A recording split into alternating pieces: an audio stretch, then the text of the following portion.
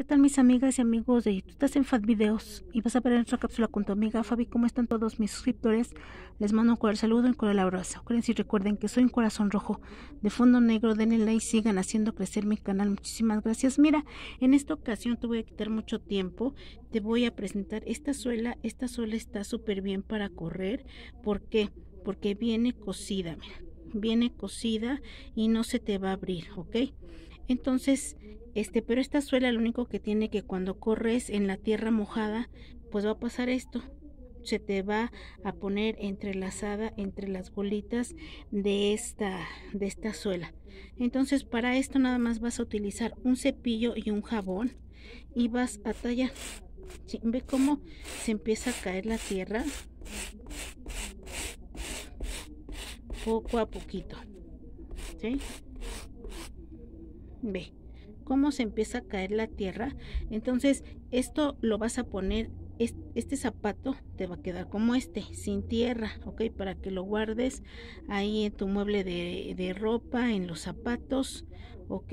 O en tu zapatera, pero limpio. Así no vayas a guardar tus zapatos porque es un foco de infección si tienes niños o, para tu familia, para tus papás, para tu esposo, ¿verdad?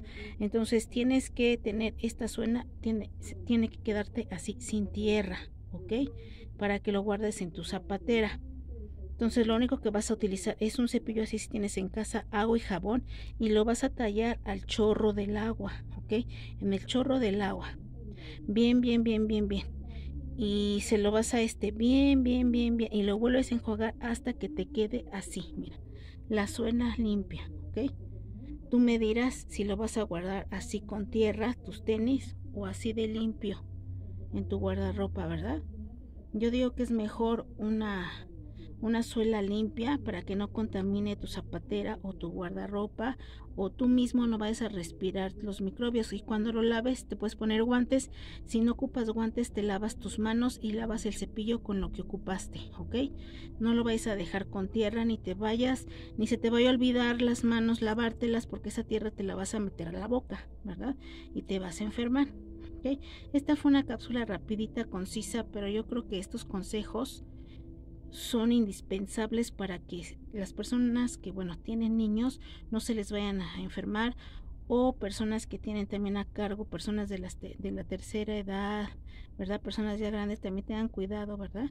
En no en limpiarle sus zapatos a esas personas y a los niños y hasta nuestros mismos zapatos para que no este entres a, la casa y llenes de tierra. Si traes tus zapatos llenos de tierra, déjalos al principio, métete, déjalos al principio para y no metas esos zapatos en tu sala, comedor, recámaras, no. Al principio ahí déjalos a la entrada, ¿ok? Vas y te pones unas chanclitas, regresas y lavas tus tenis, ¿verdad? Eso es rapidísimo, nada más es que tengas cuidado, ¿verdad? En el aseo de tus tenis para que no metas microbios a tu zapatera. Ese es el consejo que te da Fat Video aprendiendo con tu amiga Fabi. Bueno, espero que les haya sido de utilidad, ¿verdad?